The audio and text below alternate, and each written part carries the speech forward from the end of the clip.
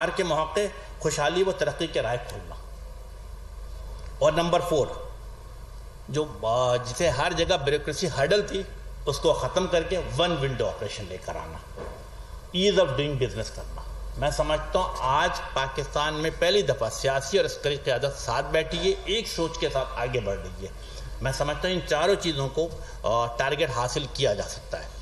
इसके साथ साथ अच्छी बात क्या है कि सियासी और अस्करी क़्यादत के एक ज़बान होने का फ़ायदा मैं समझता हूँ इस मुल्क और इसके अवाम को। और इसी इसी चीज़ को देखते हुए प्राइम मिनिस्टर ऑफ़ पाकिस्तान ने क्या किया?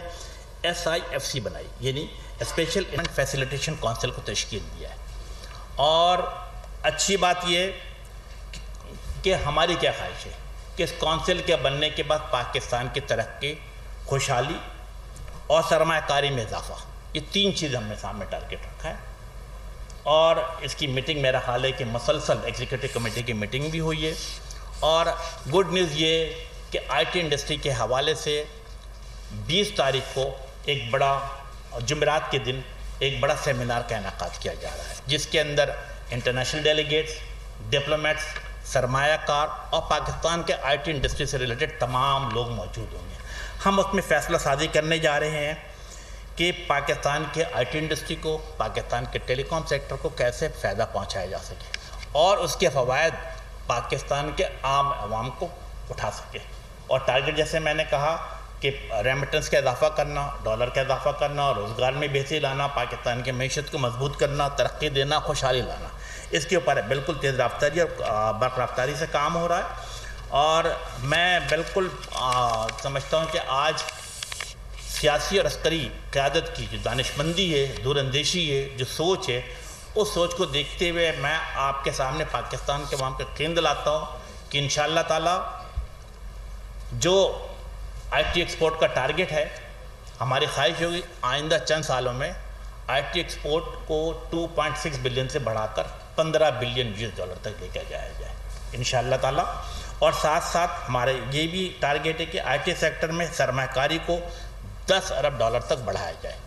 इन ताला हम पूरी टीम मिलके काम कर रहे हैं और जो जो हमारे बुनियादी चीज़ है कि हमने क्या कोशिश की। जैसे मैंने कहा कि जहाँ मिनिस्ट्री ऑफ़ आईटी के तमाम लोग एक पेज पर मौजूद है हमने एकेडमिया के लोगों को लिया और आईटी इंडस्ट्री के लोगों को भी लिया। पाशा के चेयरमैन इसीलिए मौजूद हैं कि हर मौका पे हर जगह पे जो पॉलिसी तश्कील देते हैं इनके मशवरों सोच के साथ करते हैं। और इसी इसीलिए अगर हम देखते हैं कि कनेक्टिविटी के हवाले से सरमाकारी के हवाले से आ, या ट्रेनिंग के हवाले से इन तमाम चीज़ों में इजाफा होता चला जा रहा है। तो यस वी आर कमिटेड कि पाकिस्तान को बेहतर से बेहतर करें। थैंक यू वेरी मच अगर कोई सवाल है तो बिल्कुल। जी मेरा सवाल है नसीम सिद्दीकी नसीम